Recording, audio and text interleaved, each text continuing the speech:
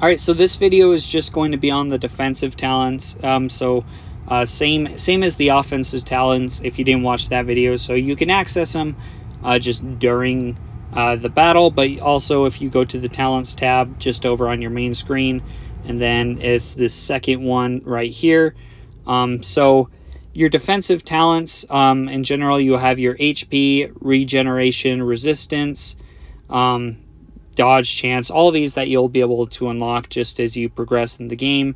Um, initially, you're not going to want to upgrade them a ton, but definitely later you will upgrade just because you don't want one hit to kill you, as well as you're also going to run out of uh, stuff to just spend um, your gold on. So um, you're not going to use a ton in the beginning, but yeah, later it will become more important. But there's a lot of different things um, that you can utilize to help you there. If you have any questions on specific talents, just hit this little question mark in the top right.